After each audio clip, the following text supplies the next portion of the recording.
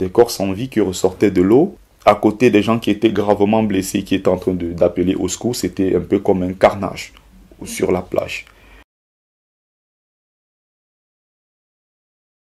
Je suis là euh, pour témoigner euh, de mon parcours de migrant, quelque chose de horrible et parfois tragique aussi pour, euh, pour mes amis. Je viens du Cameroun. C'était très très compliqué après mes études en, faculté. Suite à, aux difficultés que j'ai connues, comme beaucoup de, de, de millions d'Africains d'ailleurs, et contre ma volonté, euh, laisser ma famille, mes amis, mon pays, la chaleur de là-bas pour euh, me jeter dans le vide, surtout que je n'avais pas beaucoup d'informations sur ce qui m'attendait en fait en tant que migrant sur, sur le chemin.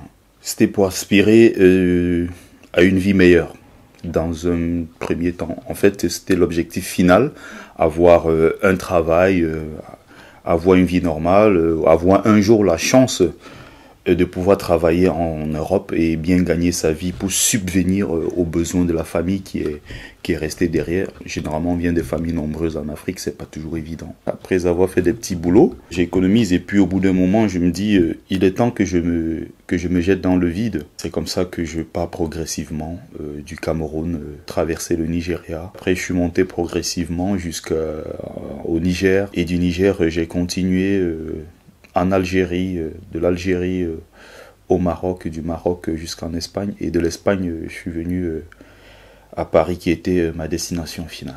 C'est le chemin obligatoire quand on n'a pas de l'argent pour se payer un billet d'avion et faire une demande normale de visa. Et tout ça, vous l'avez fait par quel moyen de transport? Parfois en voiture, des fois on y va à pied sur des longues distances pendant des jours.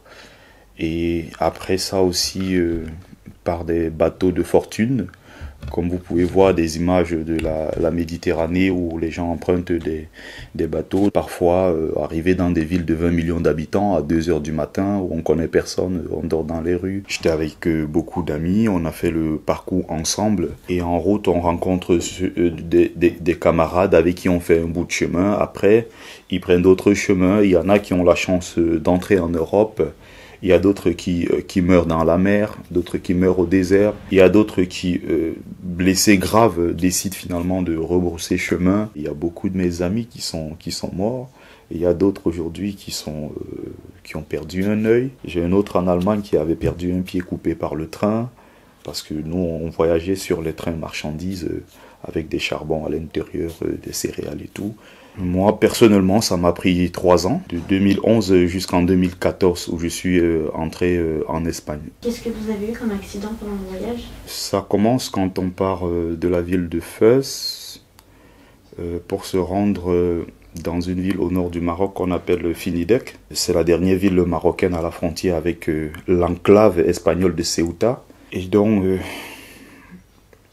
quand on est arrivé, on était, euh, on était nombreux au départ, pratiquement plus de 1000. On est arrivé à 5 heures du matin et on a tenté de, de passer côté euh, espagnol. Ce n'est que de cette façon qu'on peut tenter de d'entrer euh, d'entrer en Europe. On a beaucoup de difficultés. Ça commence par des militaires qui euh, commence à nous faire des crocs en jambes et ceux qui tombaient, des militaires qui marchaient dessus, qui marchaient, qui marchaient sur des migrants. Devant, on a pu traverser la première barrière. Il y a beaucoup qui sont euh, entrés euh, d'un autre côté et il fallait nager par la suite, contourner la barrière qu'il y avait dans la mer pour se rendre côté euh, espagnol et finalement j'étais parmi les malchanceux. J'avais une vessie autour du cou, comme beaucoup de migrants d'ailleurs. À défaut du gilet normal, on utilise les roues, euh, les, vessies de moto. On met de l'air à l'intérieur et on met en dessous des aisselles pour ne pas se, noyer puisque la plupart du temps,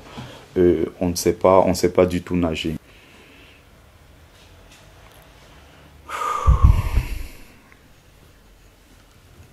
C'est pas du tout évident quoi, pas du tout évident d'en parler parce qu'à chaque fois ça me, ça me. C'est un souvenir assez, assez triste. Ce jour, j'ai la malchance d'être attrapé par euh, un militaire qui sort derrière moi dans le dos. En fait, je, je n'entends presque pratiquement rien. Et il sort une grosse machette. Je sais pas trop ce qu'il a, a envie de faire. La machette était en train de venir tout droit sur ma tête. Et d'un faux mouvement comme ça du bras, sans m'en rendre compte même, euh, ça me prend plutôt là. Et il y a un bout qui me, qui me, qui me font la tête au niveau de là. J'ai les, les trois quarts de la main qui sont presque en train de, la main qui est presque en train de tomber. J'avance encore parce que sur le moment, je ne me rends pas encore compte que j'ai une grosse blessure. Je veux nager pour aller côté espagnol. Et puis je me rends compte que mon bras, il est, tellement léger. Il y a quelque chose qui se passe en fait. Et puis je vois euh, la main qui est pratiquement euh, partie comme ça d'un côté. Il n'y avait plus que l'auriculaire qui tenait. Et là, j'ai poussé un gros cri. Et quand je me rends donc compte, il y a des militaires qui viennent, qui m'arrêtent qui me repousse derrière.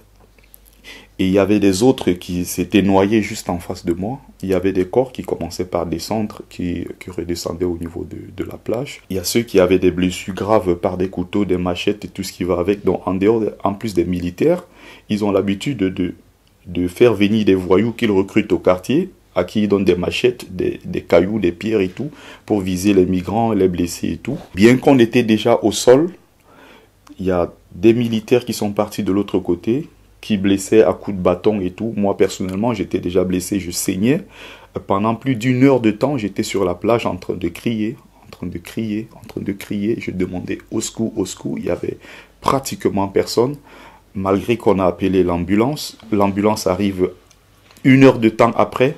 Et pendant tout ce temps, j'étais en train de saigner et je ne faisais que recevoir des coups.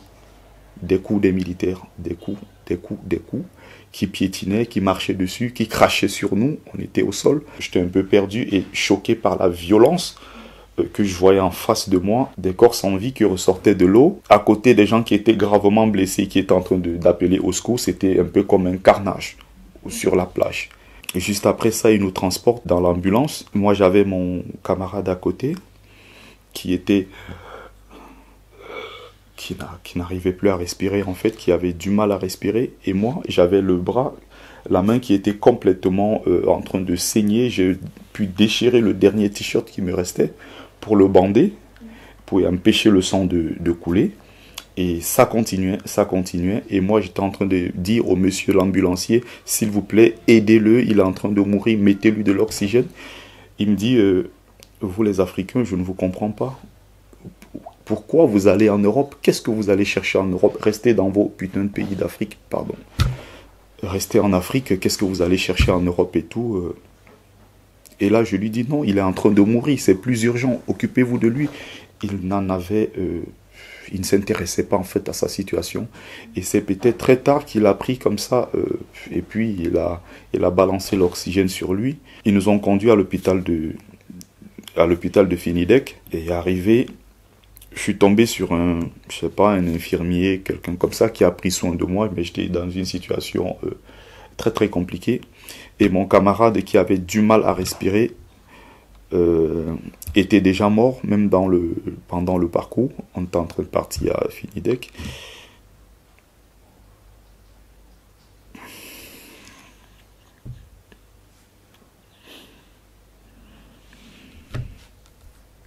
J'ai eu les premiers, les 13 points de suture sur euh, le crâne ici, sur le cuir chevelure, sans la moindre anesthésie. En sortant du couloir, le corps de mon ami était de mon camarade migrant qui avait du mal, il s'était balancé juste à côté. Après, quand je suis ressorti, pour qu'on me transfère à l'hôpital de Midi, un peu plus à côté de Tétouane, là où il y avait un orthopédiste qui devait euh, m'opérer. Et même arrivé là-bas avec la main, j'ai dû traîner dans le couloir, personne ne voulait me toucher. Avec mes camarades, on arrive à l'hôpital, personne ne voulait s'approcher de nous parce que euh, d'où viennent ces noirs, d'où viennent ces nègres et tout, des choses comme ça, assez violentes, alors que j'étais déjà en souffrance et tous mes vêtements étaient en train de, en train de saigner et tout.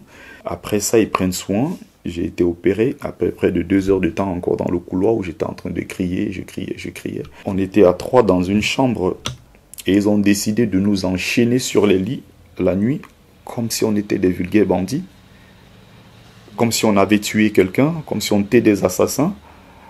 Il a fallu qu'on fasse une sorte de grève, qu'on crie tous les jours pour dire non, mais on est juste des migrants et on voulait traverser pour l'Europe. On n'a pas demandé autre chose. Pourquoi nous enchaîner sur des lits alors que nous sommes déjà dans une chambre et gardés 24 sur 24 par trois policiers? Juste après ça, on a eu des, nouvelles. et en plus, via les réseaux sociaux, j'avais encore vu le lendemain, c'est-à-dire que jusqu'au lendemain, il y avait au même endroit de, la veille des corps, des corps qui ressortaient de la mer, des corps qui ne faisaient que ressortir, des camarades qui étaient noyés, d'autres qui ont été poussés à la noyade, d'autres qui ont été euh, tués à coups de couteau et tout sur la, sur la plage ce jour. Après un mois sur un lit d'hôpital, il m'avait encore gardé en cellule, de cellule en cellule. Je suis encore passé au tribunal. J'ai tout fait pour être libéré, malgré que je détachais la bande dessus pour montrer mes blessures. Ils m'ont jamais pris, euh, ils m'ont jamais regardé comme un, comme un humain et ils m'avaient jeté dans un, un, une espèce de camion. On était pratiquement une quarantaine, euh, recroquevillés sur nous, même dans, dans le camion. Et puis ils sont partis nous comme euh, un camion de sable qui va, qui va baigner comme ça du sable à, la frontière. Et à chaque fois, il y avait des coups dessus. Je, ça me faisait encore, encore mal parce qu'on s'appuyait dessus, on s'asseyait dessus. Mais alors, c'était des, des douleurs atroces. J'ai presque perdu l'usage aujourd'hui de, de, cette main gauche qui est très, qui n'est pas du tout, euh, qui est très peu sensible. Comment vous avez tenu euh, ces trois ans-là Tout en espérant, en espérant, en ayant l'espoir toujours qu'un jour euh, ça marchera, en me disant euh, je suis bien plus fort que ça malgré euh, le tragique accident que j'ai vécu qui a été la partie la plus difficile de mon voyage. Ça a été très très compliqué à cette période-là, après mon accident. Mais après, je me suis dit j'étais plus fort que ça et que en essayant, encore et encore et encore, euh, je pourrais un jour avoir ma chance. Au bout du 12e, euh, de la douzième tentative, je suis finalement euh, entré en Europe via la mer Méditerranée. Quand je suis arrivé ici, au début, j'étais j'étais dans la rue parce que je suis passé par Bordeaux et de Bordeaux, de la gare Bordeaux-Saint-Jean, je n'avais même pas, pour vous dire, même un ticket pour m'acheter un, billet de, de TGV et j'étais rentré dedans comme ça, et puis je me suis rendu à Paris. Euh, pendant 3h30 de trajet, euh, j'ai pratiquement fait 2 heures, dans, heures dans les toilettes. Et puis euh, j'arrive à Paris, gare Montparnasse.